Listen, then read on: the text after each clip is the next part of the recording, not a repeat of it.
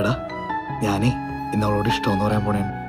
പ്രശ്നമൊന്നാവില്ലല്ലോ ഇഷ്ടമാണെന്ന് പറഞ്ഞത് നല്ല കാര്യമില്ലേ? നീ പറടാ.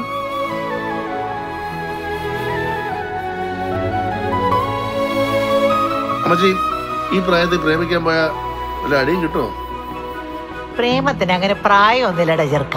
നീ ധൈര്യമായിട്ട് അങ്ങ് പ്രേമിക്കേ.